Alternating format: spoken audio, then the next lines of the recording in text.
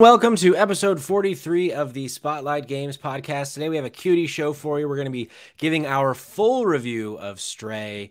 We're going to be talking about some juicy news of the week like PSVR 2. The KOTOR remake is probably dead.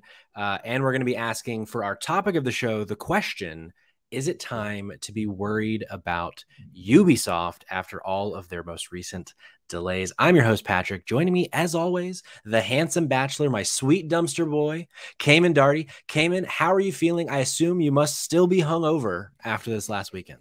God. Yeah, man. I the older I get, the the longer my hangovers last. And in this particular situation, yes, still hungover, and uh, that's uh, I stopped drinking on uh, Sunday. So sure. Did you have a, a good weekend though? Uh, we had mentioned last weekend uh, your bachelor party was this weekend. I unfortunately was not able to make it because I'm a terrible man afraid of COVID. Uh, but it looked like you guys had a blast. We did. We had a good time. We had a very good time. Uh, I was belligerently drunk for about 48 straight hours. Great. I would have expected nothing less. If if you told me anything different, I would have been a little disappointed. Um, well, we have a, a thick show. So let's jump into some housekeeping, talk about Save Trash Cinema, and then let's get into it because we have a lot of video game stuff to talk about because this is the Spotlight Games podcast where each and every week we're going to spotlight the latest and the greatest in the world of video games. You can get it by subscribing to our YouTube channel or by searching for Spotlight Games in your favorite podcast app. And hey, you can be on the show just like we have someone in our live Twitch chat right now twitch.tv slash spotlight games pod. Be sure to give us a follow there so you know when we go live. But I can go ahead and tell you we're going to go live every Tuesday at 8 p.m. Eastern uh, to record the podcast. And you're going to be able to listen to or watch the podcast every Thursday at 8 a.m. Eastern time. Uh, or you know later in the week whenever you want to. Cayman, tell us and the good folks at home about the most recent episode of the Trash Cinema and how we're saving it. Yeah, absolutely. So this week's Save Trash Cinema episode is live currently for you, and we are interviewing the absolutely wonderful power couple, Alex Austin and Kier Siewert. Uh, they are directors, they are writers, they're editors, producers, they're the whole nine yards, and they're about to release their first feature length film, Kill Your Lover. And we talked to them about pretty much everything from jumping from short films to feature length. We talk about body horror. We talk about uh, soul sucking leeches, and we just talk about how movies are made. Uh, how how the what what is it? How the bread's made? What, how what the how the sausage? I think how I the sausage. I think it's sausage. I think, I think that's right too. Yeah. So that's how we do it. And I'll go ahead and give you a little sneak peek for next week since we've already recorded that episode too. Uh, we will have Kier Siewert back on um, where we will all come together and we dissect uh, the 1981 film The Burning. Uh, and it is a fantastic episode, a lot of really good laughs, and a lot of behind the scenes on some very interesting things that you would never think of when um, watching a movie. And sure. so a little edutainment thrown in the mix. And honestly, I think both are fantastic episodes. So if you haven't listened yet, please go ahead and do so. It's live right now. You will enjoy it. Live now, buy now, listen now. Uh, let's jump into what we're playing. And before we do it, let's say hey to a friend of the show, Tune, in the chat. Hey, Tune, uh, how you doing? Love your new episode that just came out a few days ago. Uh, go check out Games University podcast. But let's talk about what we're playing, Cayman. I know you had a busy weekend, but what have you been playing, if anything, other than yeah. the game of life? So I, yeah, so the game of life, yeah. So, um, like I said, I've been very busy boy and I was lucky enough to be able to sit down before we recorded and knocked out about two hours of stray. So I have some thoughts, but I want to hold those until we hold hear some more for yours. Hold what have you been playing outside of stray? So I, uh, because I stayed home this weekend, I just played a fuck ton of video games. I uh, I beat As Dusk Falls on Xbox. Okay. Uh, and I started playing Escape Academy. Only very little though. I think I'm going to save Escape Academy for next week because I'll have a lot more to say on Escape Academy next week. But I do want to talk about As Dusk Falls. Um, famously, for those that watched our reacts to the Xbox showcase, we both were like, "This looks like dog shit." And then it surprised the hell out of us with nine out of 10 reviews from a lot of reputable places. And I, if I were to give it a number, I would give it like somewhere between a three and a four out of five, or like a seven and eight out of ten. Um, it's a really compelling story. I think uh, they really nail the that like uh, what we have come to kind of always associate with Telltale that story decision making gameplay where there's a bunch of branching paths. And i do feel like this is one of those games where i feel like we've been saying this a lot more in recent months with these kinds of games where i do feel like the decisions matter Mm. One of the issues that Telltale always had was I always felt like some of the stuff in the middle things would change, but it always kind of ended at the last or like the kind of the main one or two storylines. This one does seem like there are a lot of different outcomes across the, the various characters. Um, the story is really interesting. It, it, follows these two families in um, Arizona one is a family that's like traveling through, and another is this family who there's like a heist gone wrong, essentially. Mm. And it mm. all culminates in this hostage situation at a motel. And the fallout from that and and all that kind of stuff. And while I thought the gameplay at times uh, there isn't really any other than there's the occasional swipe left, swipe right, tap A, circle the stick. Um, there, it's not like Telltale, like you're not walking around um, because the art style is like a watercolor stop motion style. And so that is also my biggest complaint with the game is it feels like because of its art style while it's very pretty it felt like I don't know. It just it broke the the um, illusion for me a lot because it seemed like I was just looking at a picture that had been traced by watercolors, um, and so there's a lot of like kind of breaking of of the not the fourth wall, but I think you know what I'm saying. Like I, it broke sure. the illusion a lot of the time. So I would say if you have Game Pass and you like a, a good story driven game, and if like if you've played Telltale type games before, Life is Strange, uh, it's a lot less gameplay than those games, but same kind of style with the storytelling. Um, choose your own adventure type thing. So I enjoyed it. I would recommend it on Game Pass. Um, uh, so yeah, As Dusk Falls, pretty good. And then Cayman, and then I have yes. been playing and finished Stray. So why don't we jump into our full on Stray review? Let's look at this sweet, sweet cat running around while we talk about it. Uh, I want to hear your thoughts first, since you're about two hours in. What What are you thinking so far?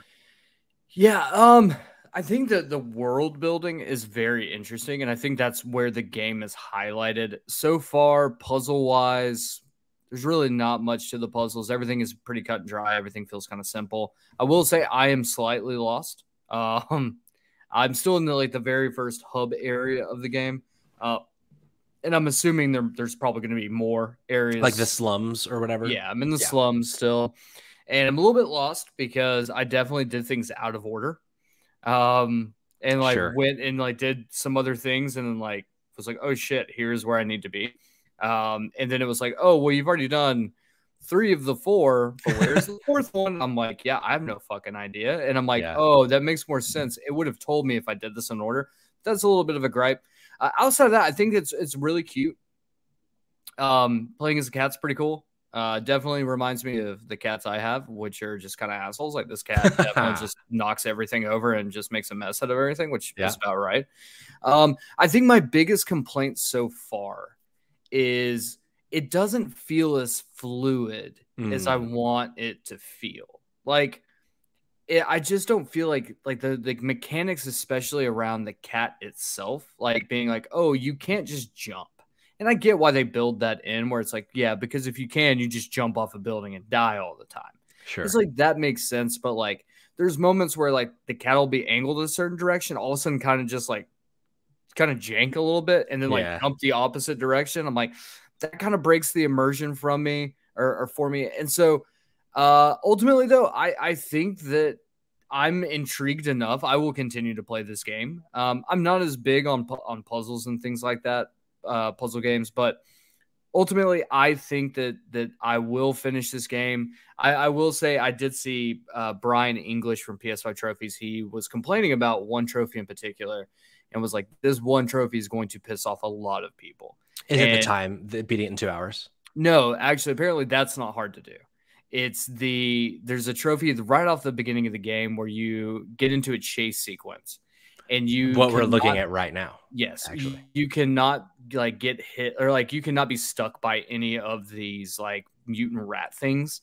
Um, Huh. and so it's like a pair. a lot of people are like, this is a very frustrating trophy. It took me like six tries. Um, and it's so fast on the PS5 that like restarting the checkpoint was super easy. And so I like went through it, took about six tries. I was able to knock it out. and was like, oh, I, that's not hard at all, actually. sure. Uh, it was a little like, what the fuck is going on? But then, like, Yeah. once I kind of figured out, like, one point in particular, I just kept getting hit. I was like, maybe if I do this differently, it'll work. And it did. And so I was like, oh, okay, well, that's not that bad. I, I'm totally fine with this. Um, but yeah, I, I think I think I will enjoy the game. I definitely think I'll beat it. I've heard it's not very long. Um, platinum wise, I guess it'll really just depend on when I beat the game Sure. like what I think about doing the platinum. Um, but the what always gets me about games like these with a platinum with a speed run that's very puzzle heavy is that I suck at puzzles, Yeah. and so I will will most likely have to like really work to like make sure I get knocked out. But yeah, I think it's I think it's fun. I know you've beaten it though. Do you think this is a game that you would go back and platinum, or have you already platinumed it? So I have not platinumed it. I, as I was going through, I was kind of keeping an eye on the trophies, uh, and there's one. I'm surprised I missed it. There's this one trophy where, uh, which is actually one of my favorite parts of the game. Uh, so to preface all of this, I'm a I'm a big cat guy. I used to be a dog guy, and then Rose, my wife, was like, "Let's get a cat," and I was like, "No, I'm allergic," even though I wasn't really.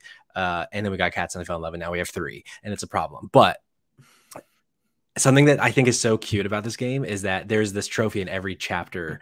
It, uh, as Stray, it wants you to like scratch and like mark your territory. And I thought I got that one, and I didn't. I must have missed one of the first chapters where you can scratch on things. Um, so just anecdotally, like there's that's one I know I already missed. I think I ended up getting like 60 or 70 percent just by beating the game. Um, I might go back, but it actually to kind of jump ahead to one of my gripes with the game is I I don't see much replayability with this Mhm. game. And, and I think one thing that they could have done to make it feel a lot more replayable is let you customize Stray. Um someone who has three cats, like I totally would have gone through this game three times if one time I could go as George, one time I could go as Gus, and one time I could go as Joe, but I can't. I, I'm only ever Stray. Um and I understand the creative choices as to why they did that. They had a cat that they kind of based this off of, and they wanted to tell their story as this one cat. But I think it's a big missed opportunity to not let me run this game as Gus and let him be a little chonkster. Uh, but I understand the the struggle there. Um, quick pause to say hey to Kayla in the chat. Uh, she uh, JK Games podcast, friend of the show. Has been playing Jerica, also friend of the show from JK Games, has finished it and really enjoyed it. Um, and she says she's not even gonna attempt the platinum. Um, but but yeah, so I I loved this game. Uh, I played the whole thing with Rose, and um, I think what they set out to do, they nailed. Mhm. I think I felt like I the feeling of playing as a cat, I thought they nailed. Like one of your your your uh, complaints with not being able to jump, I actually really liked their jumping mechanic, which is just it's like a magnetic. If there's something I could jump onto, I press X and I go to it. I don't have to like I'm not jumping at will. I, I enjoyed that because it felt like, especially in times when you're running away from those little fucking rat aliens, if I just hold X, Stray will jump whenever he needs to jump.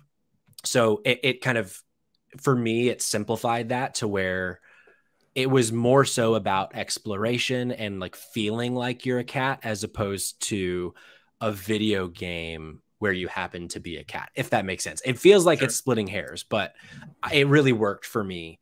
Um, and I liked how there's only specific things you can do in terms of like you can only jump on specific railings and specific like the the entire uh world isn't climbable jumpable like it might be with a real cat i appreciated that they made the choice to to make it a little linear in that way.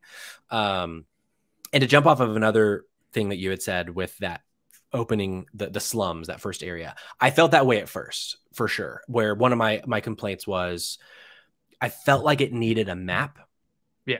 and by the end of the game i kind of went back on that because I, I feel like it's just small enough to where there were times where I was really afraid, especially in the slums, where I was like, if this gets any bigger, I'm going to start getting really overwhelmed with where to go because I, I can't track where I'm going.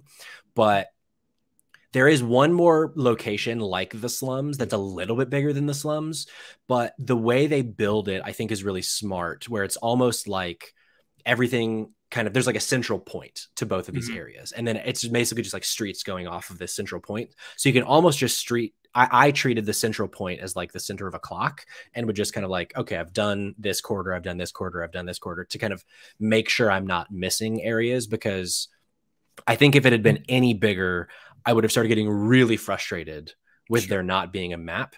Um, but um, but yeah, I I I totally see where you're at, and I'm interested to hear like next week when we chat about it if you still feel that way because I had a similar situation in the second open world section where I did what you're doing right now, where I had like found all these things because I was just exploring. And then I finally was on track with the mission. And the mission I ended up finishing like immediately because I had already done all the legwork unintentionally.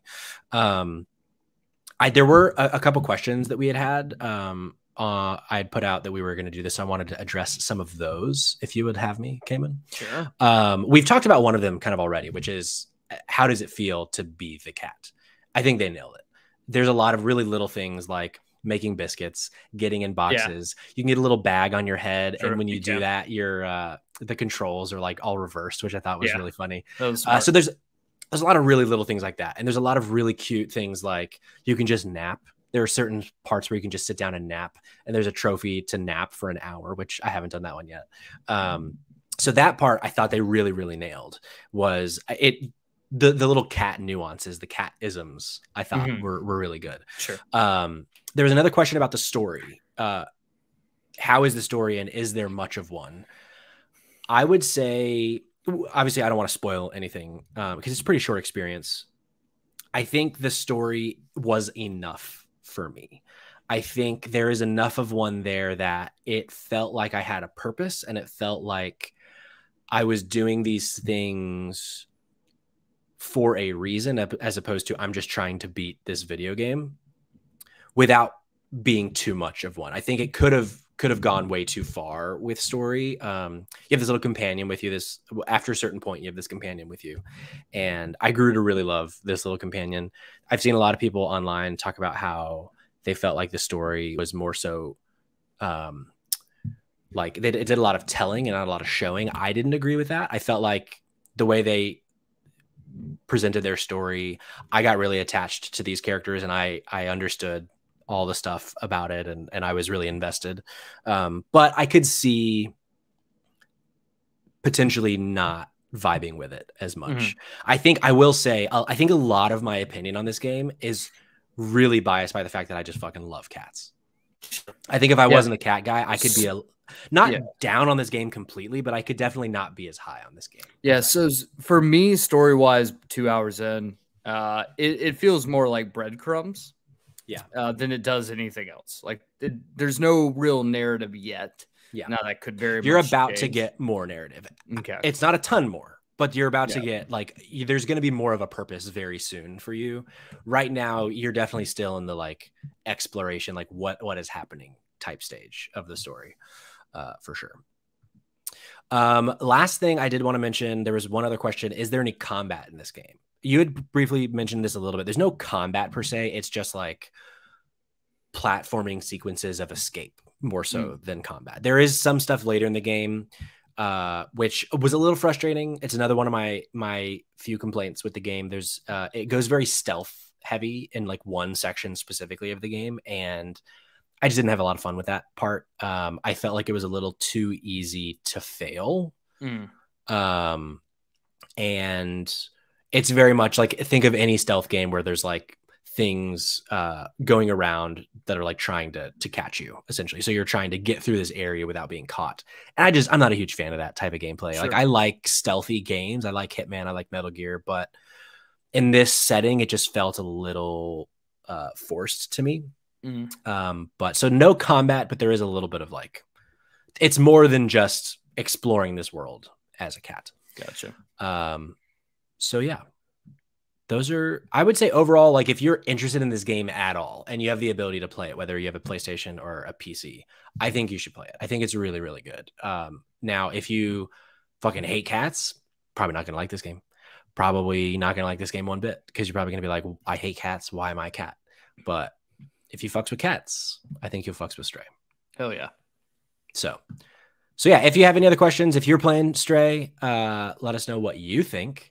I know there are a few people in our audience that are very excited uh, about it and wish they had a PlayStation to play it and don't. So, uh, at some point, maybe I'll have a Stray party. We can all just play Stray together. Um, any final thoughts from you, Cayman? Uh, none yet. Definitely, I've that will change next week. Uh, hopefully, after I beat the game. Um, so I'll have more thoughts then. Sweet. But as of right now, I think uh, I just need more time. Cool. We need more time, folks. We need more, more time. time. Well, I'll tell you who might need a little more time, Cayman, unfortunately, even though I don't think they're going to be getting more time, is The Last of Us. So mm-hmm. uh, over the weekend, we got. Um, oh, wait, it's not showing the right thing. Hold on. Um, we got a new look, a deep dive, as it were, into The Last of Us Part One. Um, over the weekend, there was some concerns from a leaker that this game apparently just feels like The Last of Us Part One, and that there's been no changes to the gameplay. And so, uh, late on Friday, very late on Friday, on the PlayStation blog, uh, they released this 10 minute video and kind of gave us some insight. So we're going to go through that and then then we'll discuss it. So this is from Sid Shuman on the PlayStation blog. Sid writes, The Last of Us Part 1 on PS5 will feature a host of gameplay and presentation enhancements that will bring the game closer to its original vision, according to co-president Neil Druckmann. While The Last of Us Part 1 can render native 4K at targeted 30 frames per second or dynamic 4K at targeted 60 frames per second, and features PS5 mainstays like DualSense wireless controller haptics, trigger effects, 3D audio, it's clear that there's a lot more going on here than a simple resolution and frame rate bump in its comma, it's a complete overhaul.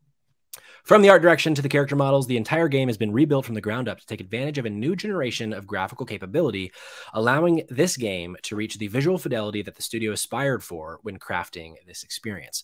The PS5's powerful hardware drives a host of visual benefits from denser physics with tons of bumpables and chippables. Bullets can now rip apart concrete and environmental objects, and cinematics now transition seamlessly to gameplay.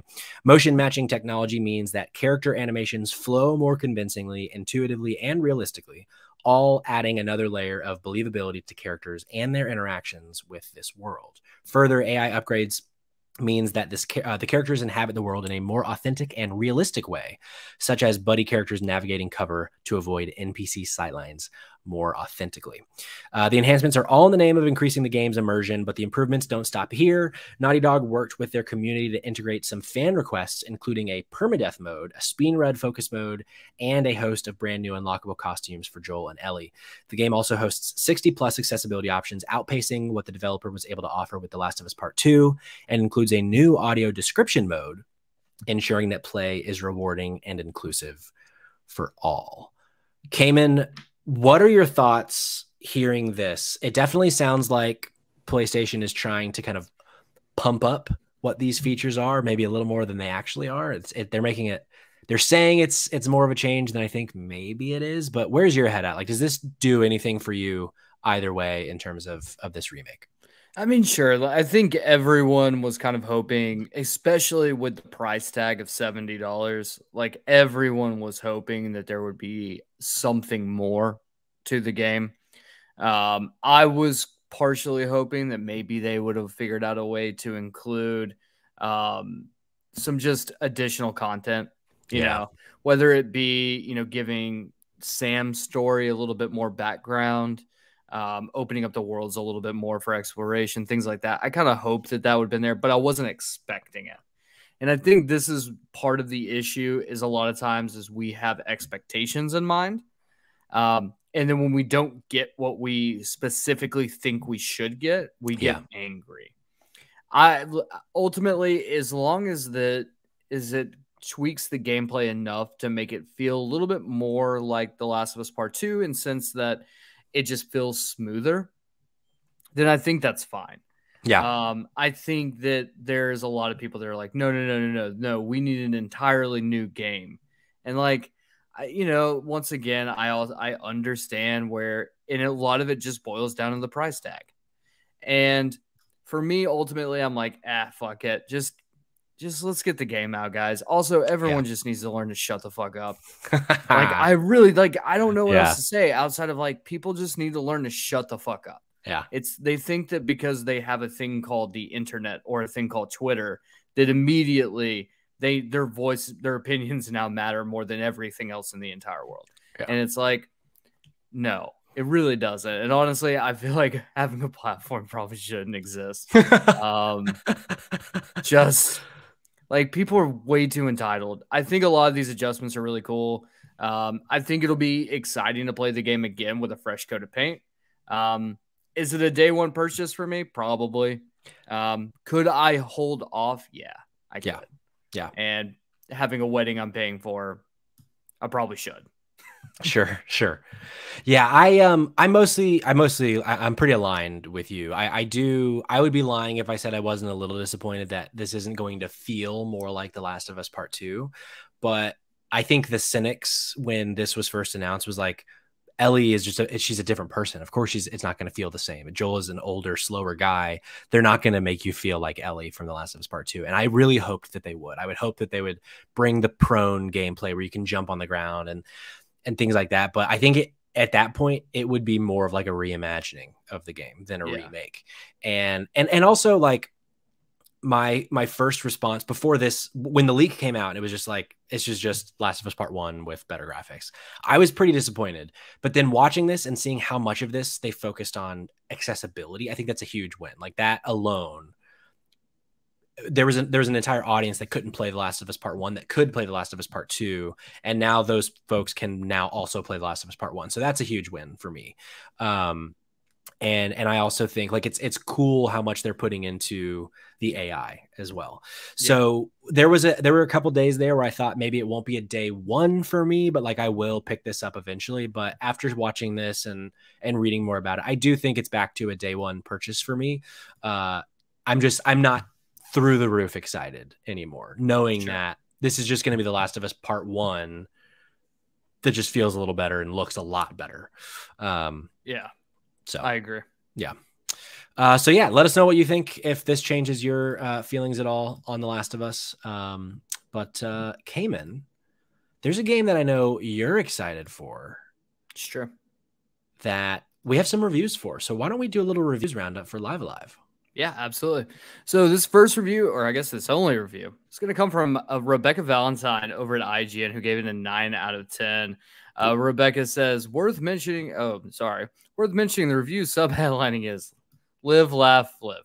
Oh, I love that. I thought that which really is great. Uh, yeah, but the actual review itself says, "Live A Live" is a fascinating piece of JRPG history that's more than worthy of the energy Square Enix has spent to remake it for a global audience with a beautiful new art style decades later. Its unusual vignette, structure, and lovable ensemble cast are a delight to spend time with, especially thanks to the addition of voice acting. And the ultimate story payoff remains surprising and standout among JRPGs even decades after its original iteration. It's seven different characters, each make inventive and surprising use of the deceptively simple combat system, which adds even more flavor to the most challenging optional boss fights. The remake could have put a bit more work into mitigating some of the original's more tedious grinds toward the end, but by the time that grind kicks in, Live, live, live Live A Live um, had enough hooks stuck in me that I couldn't put it down until I jammed out to Megalomania for the final time. I'm very excited about this game. This it yeah. looks beautiful. Uh, you know, I don't even know if there's anything worth saying anymore. Everyone knows I love JRPGs. Oh, sure. And so it's like, fuck it. Like, I'll have a review coming soon. Don't worry. Perfect. Yeah, I this was a game like I we've talked about it several times. I was like excited, but I never got to the point where I was like, I can't wait for this. But now that it's out and it's getting incredible reviews, I'm like, okay, I'm really excited for this game now. I can't wait to jump in. Uh, and looking at this, like the B roll for it, oh, it looks so pretty. It, it just looks, it yeah, it looks so yeah. good. So definitely, I, am really looking forward to this one. I know uh, Nick, friend of the show, uh, I believe, if I'm not mistaken, he will be giving us some thoughts very soon. Uh, so maybe next week, when after if you've been playing it, and maybe we'll we'll do a little little audience featurette on uh, on what Nick's been thinking. Um, but hey, we have another review roundup from uh, Xenoblade Chronicles 3, one of my Cayman games in the Fantasy Critic League currently sporting an 87 on OpenCritic. You know, I like that. Hell yeah. Uh, this is coming from Jacob Dekker at GameSpot. Um, this is an 8 out of 10. Jacob says Xenoblade Chronicles 3 feels like the game Monolith Soft has been trying to craft for years. While its dialogue could have used an extra pass, it more than makes up for it with its wonderful story and superb combat. It's rare for a JRPG to hold my attention for a 100 hour runtime, but Xenoblade Chronicles 3 did it with confidence. Cayman, how what what what give me you know on the excitement level uh radar where are you right now so i got i got i'm on both ends right? On one end like i enjoyed xenoblade chronicles. I just enjoyed the series. I was a little bit like eh you know just with all this other stuff going on maybe this isn't a game i want to play immediately scores come out reviews come out and i'm like holy shit okay so this is definitely a game i want to play as soon as i possibly can However, I have a wedding in October. and yeah, what that means is I'm going to be a very busy boy. Oh yeah. Buzz buzz. And a hundred hour runtime terrifies the ever living shit out of me because I agree. Actually, that's exactly where I'm at, other than the wedding. Yeah, I and that's like something like Save Charge Cinema. We've been really picking up some steam. We've been getting a lot of really cool guests on. So I've been doing a lot of extra interviews. And so like that takes up more time and just a lot of extra work that we're putting in on top of the wedding, on top of the fact that we've had the bachelor's party, we've had all these things happening. And I'm like, I don't know, man. I don't. This used to excite me. Yeah. Things would be like, oh my God, a hundred hours? Give me a hundred. Now, I will say, and here's the huge caveat here. Give me a caveat. A hundred hours on the Switch, not as bad. True. A hundred hours on the PlayStation 5 or the Xbox, that's where things get a lot trickier because now I'm taking up TV time. Great point. And so that's a little bit of a hassle. However, this game, just like the other ones, I'm assuming, is going to have like some really good moments of grinding, some really fun dungeons, and some like incredible combat. So on the Switch, pop on the TV. Blown Away season three is currently out, so you know I'm watching my glass blowing. Oh yeah. Oh, just I imagine watching my gla- watching my glass blowing playing some Xenoblade Chronicles 3. That sounds fantastic. Come on, dude. Like so, what a you know what, what I'm what I'm expecting is is you're gonna get into the game right around the time of the wedding. And while we're like getting all ready and stuff, and we're having like the boys together, because you're you're one of my groomsmen, we're gonna all the boys are together, we're getting ready for the wedding, and I'm just gonna look over and you're just gonna be like this on your switch, face down, just fucking just legs up, legs, legs up, up, switch right there, just oh yeah, going to town just with going to town. Yeah, I've that's what I foresee happening. maybe. I hope Maybe. so. We'll see. I, All right. you know what? I'm not going to be playing. Cayman. Oh boy, I'm taking the reins on this one because I need you to to to save your. I need to simmer for a minute. You need to absorb what's about to happen. Save your voice because shit's about to get real. Hold me. This comes from Jason Schreier over at Bloomberg. The KOTOR remake paused indefinitely. He says a hotly anticipated new Star Wars game is in serious trouble, according to people familiar with the project. Star Wars Knights of the Old Republic, a remake of a 2003 role playing game, is delayed indefinitely as developers at Austin, Texas based Aspyr Media try to figure out what comes next. Aspyr also abruptly fired the game's art director and design director this month. In a series of meetings throughout July, Aspyr's two studio heads told employees that the project is on pause and that the company will look for new contracts and development opportunities, said the people who are not authorized to speak publicly about the situation. Knights of the Old Knights of the Old Republic was to be one of the first modern Star Wars console games released outside of Electronic Arts, which had previously held the exclusive licensing rights. The deal expires in 2023, opening the door for new Star Wars games from outside companies like Aspyr, Ubisoft, uh, Quantic Dream, you know, all those guys that are in trouble. Uh, the game was announced last September and has been in development for nearly three years at Aspyr, which was purchased by Sweden's Embracer Group AB last year. Aspyr's founded in 1996 was best known as a service shop that brought existing video games to other platforms such as iOS, including the original Knights of the Old Republic games. On June 30th, Aspyr finalized a demo of the game known as a vertical slice to show the production partners Lucasfilms Limited LLC and Sony Group Corp. The developers were excited about it and felt like they were on track, according to a person familiar with the project. So they were shocked by what happened next. The following week, the company fired design director Brad Prince and art director Jason Minor. Neither responded to requests for comment, but Minor suggested on his social media page that his dismissal was unexpected. Aspyr studio heads told staff that the vertical slice wasn't where they wanted it to be and that the project would be paused, according to two people who were in the meeting. One person familiar with the discussion suggested that a disproportionate amount of time and money had gone into the demo and that the project's course wasn't sustainable. Another point of contention may be the timeline. At the outset of development, Aspyr told staff and partners it would release the game by the end of 2022. According to two people familiar with production, developers said a more realistic target now would be 2025. The fate of Star Wars Knights of the Old Republic remains unclear. In May, Embracer announced that Saber Interactive would also join the project. Some at Aspyr believe that Saber, which has mainly been doing outsourcing work for the project, may take it over completely. Woof hard woof. This game nah. is dead. This is uh, it's fucking dead. I'm gonna mute myself so that you can scream for the next five minutes. Are you ready? I'm just gonna cry. I don't know that I'm gonna scream, Cayman. I was so excited for this game. One, I mean, I mean, this is like a top five game for me, and and to get a fully, completely built from the ground up remake, and like this would be like an RE2. I, I was assuming this would be like an RE2 style remake, where like it's not going to feel like the original because the original was made so long ago that like you got to kind of start over. Yeah. And I I'm just so disappointed by this. And like especially toward the end where they were like they spent all this time and money on a fucking vertical slice to only find out that like hey, the bosses ain't happy with it and now we're 3 3 years behind schedule. It's like what the fuck how is this bungled so poorly? Do you want to know how it's bungled so poorly? Tell me. Aspyr Media was the one who was doing it.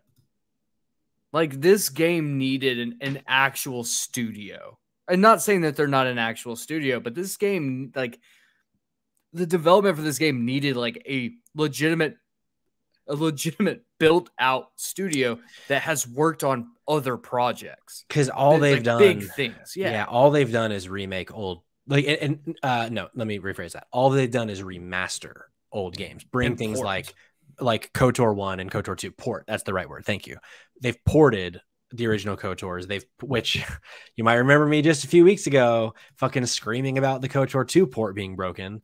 Uh I that should have been a a, a fucking uh deer in headlights moment, but instead I was like, "Oh no, it's just this one." But yeah, I just I'm, I'm not going to say that Aspyr doesn't have talent. Aspyr just doesn't have the the bandwidth to pull a project like sure. this off. And the fact that like Sony got in to like start promoting it, just a shit look. Yeah, I, I for the record, I think I don't. It doesn't really matter. I think it's Aspire. Uh, what did I say? Aspyr. Aspyr. But like, uh, you know, they're what? not going to exist after this is done. I'm, and like I, I know Saber Interactive. I know the name. I can't think off the top of my head what they've done, but I think they've done a lot of other like porting type stuff and like remaster type stuff. Smaller, smaller games. Smaller yeah. stuff. So like I don't know. It just yeah, I think you're I think you're spot on. I think this was too potentially too big of a project for a studio who had never built a game like this before. Even though they've they've worked a lot with Star Wars games, it's, it's different building a Star Wars game from the ground up than taking a game that had been released on a platform 15 years ago and just putting it on Switch. Like that's a very different thing, you know, as two people who have never done anything in game development. But yeah, I'm just, I think for me, if this is just like so disappointing. This would be like if if tomorrow we found out that the Dead Space remake was just dead. Like they were just like, oh, eh, too bad, it's gonna suck, so we're canceling it. okay, it was such uh, a game. Yeah, jump in. Here we go. A couple games that Saber has done. Shaq Fu a Legend Reborn. Um, they did uh, ports, a bunch of ports, a bunch of ports. I will say, good on them. Um, they did do the Evil Dead game, which I have enjoyed. Okay, um, that's it. But Shaq Fu, that is like famously one of the worst sequels to a game ever. Yeah, I mean, Saber's just kind of. I mean, they've they've made games. I mean, they made NBA Playgrounds. Um, they made or do you remember the Ryan Reynolds film R.I.P.D.? yes. Guess what? They made RIPD the game. Fuck me. Um, yeah. You know what? Actually, so to, to jump off of what you said and add to it, you're like the, the issue is Aspyr. I think the issue is Embracer Group. Yeah, I mean, but yeah, that, no, that's Embracer Group has a ton of talent. They do. They have a They do. ton of talent. But like they're just so big. Like they're exorbitantly big. yeah, that like it makes sense that that something like this would end up fucking dying and like being a failure because they're doing so much. True, I agree. Fuck. I'm just I know that sucks. I'm so I'm so disappointed. I really hope that the I- will be shocked if we ever see this game at this point, but I really hope that it can find a new home and and make it to fruition because it's such a special game. Like this could have been so fucking cool to have because I assume the remake would have been I'd already said RE2, even like Final Fantasy 7 where like it's a completely new like I don't think this would have been like a a turn-based uh action style game like KOTOR 1 was. I think this would have been like a straight up like like how Final Fantasy 7 is, like a combat driven. And now it's just fucking dead. Mm-hmm. Yeah, A I goddamn shame. A A goddamn damn fine shame. A goddamn shame indeed. A goddamn fine shame. Uh, well, Cayman, we do have uh, some good news, at least today. Uh, and that is that Sony has given us a look at PSVR 2's user experience. So they on the PlayStation blog today, they showed a bunch of new pictures, which let me pull this up and actually th- throw this on the old screen as well. So uh, uh, who wrote this? Uh, Yasuo Takahashi, senior staff pr- uh, product manager at Sony Interactive Entertainment, walked us through some changes today. Mainly that uh, they have confirmed, which you know, this is for you Oculus folks. This is not a new thing, but they confirmed that PSVR 2 will have see-through view confirmed, meaning that you'll be able to keep your headset on and see around your surroundings. That's awesome. Uh, there's also going to be a new broadcast feature with the PS5 HD camera, which I think means that like you'll be able to like Twitch stream your PSVR um, gameplay, which is cool. Uh, you can also, which is another, uh, I believe this is a an Oculus uh, thing too, where you can customize your play area, so you can set boundaries within your play space, uh, which is cool. They're kind of showing it in this little video here. Um, and then there's another cool feature where uh, th- this is the the boundaries here. There's another cool feature where it's going to have uh, all VR games will have a um, cinematic mode as well, so that you can essentially play it from what, the way that I interpreted it. And this will also work for your other games. Is you can like play it like you're in a movie theater, um, cool. which they did in, in the original PSVR, but it just didn't didn't work very well. Like the the fidelity wasn't very good, and with the improvements they've made in the um, the cameras and screens here, I would think that the fidelity will probably be a lot better in this. Um, but you'll, I'm assuming you'll be able to like watch movies and stuff in there, which would be pretty cool. Um, and then they also said that launch date and details will be coming soon. So you know, not a whole lot here, uh, but we finally saw the controls. Which actually, let me let me just let's just do a little close up on those controls for a little bit because they look so much better. Yeah, yeah. So the controls look a lot like the Vive, um, which is awesome because they they those are super comfortable and they work really well. Um, also, I like the headset more Yeah. now too. Like I think Yeah. the headset looks a lot better. Ultimately, I think the the PlayStation VR two, what it comes down to for me, is going to be how much does it cost and what games can I play on it. Yeah. because I'm not going to be playing all of my non VR games in VR. That just seems a little ludicrous. Maybe some games would be kind of cool like that, but like, no. Um, what I do want to see is just more games. Like, show me why I need to buy this system For and sure. why I need to pay however much it's going to cost for it. Uh, outside of that, I really think like th- this is cool that we get to see some more info on it, but ultimately, without any like launch details, I don't really think that this is like a slam dunk story. Yeah. Um, but it is worth noting because I do think that like this should entice some people uh, to get excited for it. Yeah. I, I will say a really interesting thing. So right after this came out, shortly after that, Oculus came out and they're raising the price of the Rift 2 by $100 in like three weeks, which is really weird. Like you don't see that often. People being like, hey, we're going to start charging you more. So now, so it's going to be $500 for Oculus. So now I'm really like is what's the price for PSVR 2 going to be? Like, is it going to be that 500 or is it going to be more? So I'm a little, I'm a little concerned um, about that, uh, but we'll see. Um, so yeah, so hey, why don't we? Let's just I, the Black Panther thing is gonna be quick. Let's just let's just quickly do Black Panther and then uh, and then let's go into Ubisoft. So uh, this is coming from from GameSpot uh, via Jeff Grubb, who we've talked about already on the show. Apparently, there's a Black Panther game in development at EA. Uh, reporter Jeff Grubb talked about the new game on his daily news show for GameSpot sister site Giant Bomb. According to Grubb, it will be an open world, single player game and something of an origin story. It takes place after the previous Black Panther has died, so players must take on the challenge of becoming the new Black Panther. It's very early in development, so no release window has been given. Uh, it has been code named Project Rainier and is coming from EA. And we also know that it's an open world game. I think maybe we don't actually. Um, what does this do anything for you, Cayman? Uh, do you want a, a, game as Black Panther? I mean, I think that's awesome, but no. Oh well, okay. I think that's awesome. Not from EA. Yeah, that also worries me about EA. Yeah, because I just feel like this thing is just going to be riddled with microtransactions and ultimately just be a game that is maybe really popular for about a week on Twitch and then no one ever talks about it again. Yeah, we we saw how fumbled the Avengers was with uh, Crystal Dynamics, and so I hope that that's not the same case here. But it's also it's it's weird that it kind of mimics the Black Panther two movie storyline in a way. Um, yeah, which is kind of odd, but but yeah. So if you're a, a, fan of Black Panther, that's a thing. Uh, Cayman. Yeah, you came to me this week. Oh boy. And you said something that I think is very interesting and that I want to talk about. Mm-hmm. In that, so we learned this week, uh, and I'm going to kick it to you for the story, but we learned this week that Ubisoft has kind of delayed their next two like biggest titles. And so I want to ask the question what the fuck is going on at Ubisoft? And should we be worried? So, Cayman, take it away. All right, so this comes from guess who? Jason Schreier over at Bloomberg. He says Ubisoft Entertainment has delayed the next Assassin's Creed title, pushing it to February to the spring, uh, marking the second such setback in recent days for the French video game publisher.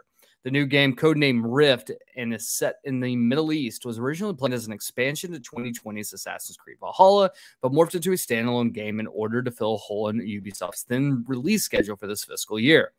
Ubisoft's office in Bordeaux is leading development on the game and asked for more time because Rift is running far behind schedule, according to a person familiar with the company's plans. The delay will impact Ubisoft's balance sheet as the game moves from the company's current fiscal year, which ends in March, to the next. The game is now expected to be released in May June period. A Ubisoft spokesperson didn't immediately have a comment. On Thursday, as part of its quarterly earnings call, Ubisoft said it had delayed its upcoming Avatar game in a quote unquote smaller and not unannounced premium title. That was a reference to Rift. The person familiar with the plan said, asking not to be identified, discussing information that isn't public. Ubisoft hasn't yet announced the game, but said it will reveal more information on the future of Assassin's Creed in September. Avatar Frontiers of Pandora, based on the movie franchise in partnership with Disney, was expected to be released this fall, but is now pushed back until at least 2023. The two setbacks have a publish leave the publisher with a weak lineup that includes just two potential blockbusters this fall. A Nintendo Switch exclusive in the Mario plus Rabbids franchise scheduled for October, and a pirate game called Skull and Bones that has been through a difficult development process yeah, you believe it. And was delayed several times before finally landing on a release date this November. Now, Patrick, let's do a quick breakdown of the releases since 2020. Are you ready? I'm ready. All right. So, released Watch Dogs Legion with a 70% on Metacritic in October 2020. Uh, Valhalla in November 2020 with an 84%. He also had Just Dance, Immortal Fenyx Rising, Far Cry 6, Riders Republic, Just Dance 2022. Um, Rainbow Six Extraction, and Roller Champions, which I completely forgot that game even existed. Yeah. Those are the games that they have released since October of 2022, ending in May, or excuse me, October of 2020, ending in May 2022. Mm-hmm. And then obviously coming this year, like we said, is going to be Mario plus Rabbids and Skull and Bones. there are some games in development One being the mobile division game, which I am very angry about because the team behind it is currently working on Avatar Frontiers of Pandora, which was just delayed. There's also the Assassin's Creed Infinity, which is games as a service that we have no clue when it's coming out. Assassin's Creed Rift, which was now just delayed. Splinter Cell reboot, which we still don't know when that's coming out. A game called X Defiant, an untitled Star Wars game, and then the game that will 100% never come out, Beyond Good and Evil 2. Whoa boy. so there's just a lot to unpack. Kayla in the chat wants to she she asked the question, when do y'all think it's coming? Uh I think referring to Rift. And I would assume this comes like mid next year. Like I, I don't think this has probably been pushed out too far. I would think if you know, if they just need a little bit more time, then I, I doubt it's going to, because especially they've talked about how this is going to be a lot smaller of an experience, m- more like the original games than Valhalla Origins uh, or or Odyssey. So I don't expect the delay to be super long for that. But like looking at those games, Legion, Valhalla, Just Dance two times, Far Cry Six, Immortal Fenyx, Rising, Riders Republic, Just Dance, Rainbow Six Extraction, uh, Roller Champions, like none of those are hitters. Like none of those are were a huge hit. Games Probably that normally the best they had was Valhalla, but even yeah. that wasn't like me, some... who is a huge Assassin's Creed fan. I I mean, I did devour that game. I played it for like 120 hours, but it felt very much like you can tell this is a game being worked on by like a thousand people across the world. Like there just wasn't a lot of heart in the game. Uh, it's just like go do this, go do this, go do this, go do this, go do this, go do this, go do this, and and I I remember a few years ago there was this kind of feedback from the uh, the audiences of Assassin's Creed. It's like, hey, why do you keep releasing games every year and they just keep getting kind of progressively worse? And they're like, they straight up were like, you keep buying them. and then sales weren't as good for Valhalla, so they took a little bit of time. And but it's like when you look at all of the games that they've done and the, the games that they're now working on, if these is if Assassin's Creed Infinity doesn't pan out, I don't expect Avatar Frontiers of Pandora to be a hit. It could be. Like you said, Beyond Good and Evil 2, I will be shocked if that game ever comes out. We don't know what the untitled Star Wars game is. I've I actually have never heard of XDefiant. I don't know what that is. It's like you guys have 52 game studios across the world. 11 games in three years might sound like a lot, but when you think about the fact that it's 52 companies, it's not really. It's like, what is happening? Like, when is, you know what I mean? Like, I'm really excited for Sparks of Hope, but as you've said, like, that's more of a Nintendo game than a Ubisoft game.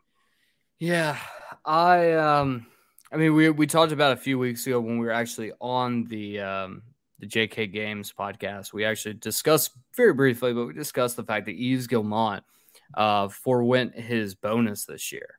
Yeah, uh, because he didn't hit numbers that they should have hit. Ultimately, I don't. No, it's not looking good for Ubisoft. The the question I think shouldn't be asking is what the fuck is happening at Ubisoft. It's who's going to buy Ubisoft. Yeah. You know, they fought sure. off Vivendi from being bought out by them, and we all rooted for him, pulling for him. I don't know if that has anything to do with what's going on now, but whatever is happening there, they need to restructure. Maybe they need to start cutting down some of those 52 studios. I know that sucks to say because there's real human beings working there. Yeah, for sure. And and presumably working on projects, but like maybe they need new leadership at, at, at, Ubisoft. Maybe they need to be bought out. And I hate even saying that, but like ultimately, this is not a good place to be in for a company this big. Yeah, for sure. And if I'm someone working at Ubisoft right now, I'm terrified about what's going to happen to the company as a whole because this this is not sustainable. Now, sure, you know the games sell, but like you're you're supporting 52 studios and only yeah. 11 games in three years. You're not making enough to be able to keep those studios alive. Um, this is not this is not a good place. I, I could see easily Ubisoft potentially dumping some studios or letting some studios be bought out by other companies. You know, you might see them try to sell some off to uh, to Sony or Microsoft. ultimate, you know, you or potentially what could end up happening is is you have another situation like Embracer Group coming in and just swooping up like a few smaller studios from them and Maybe. be like, hey, let me get, let us get them off your hands, or you have another huge corporation like Tencent that comes in and is like, you have no choice but to take our offer, or your company will not exist in in, in a few more years. Um, the only way that I see them making a bounce back is if Assassin's Creed Infinity is like a massive hit, like Destiny style. Like it has to be one of the largest games to come out in the in the last decade. Sure. Like it has to be that level and be able to continue to bring in and have support because you know Destiny's been able to survive. I mean, they're a billion dollar company. Like that's that's the only way that you could that I I I see this going just from a business yeah. standpoint because they're bloated. Ubisoft is bloated, and production wise, it's not good. This is yeah, this is I'm, bad. Yeah, I'm Real so bad. shocked. Like, and, and it's like it's so interesting because they they used to have a lot more franchises, things like Splinter Cell, which they're finally bringing back, and I it, it just so many of their studios got re like moved to work on things like Assassin's Creed, so that there's like a 24 hour cycle of of the game being worked on, and when you put all your eggs in one basket, if that basket's not going to pan out, yeah, it's not good. Patrick, I don't like it. I don't like it one bit, especially because like I know Assassin's Creed gets a lot of hate in the last few years, and a lot of it I think is warranted. Uh, let me rephrase that: hate is never warranted. Criticism is warranted sometimes uh, when it's you know when they need to be criticized. And I'm a huge Assassin's Creed fan, and I will be so bummed if if this ends up dying. But I see. You know, here's the thing for me: I don't think we'll see it die. Sure. I I don't foresee any of these IP Splinter Cell, especially Assassin's Creed, uh, Beyond Good and Evil too. I mean, there's only been it's not like it's a series. it's that not game, really alive at this point. Well, no, I I would be shocked to know if anyone has actually put any effort or work towards this game in the last six years. um, I mean, that's just the truth. Prove I mean, us like, wrong, Ubisoft. Uh, that is a challenge, Ease Ease Gilmore. Uh, but no, like I feel like this is another one where it's like, oh, sinking ship, we need to make money.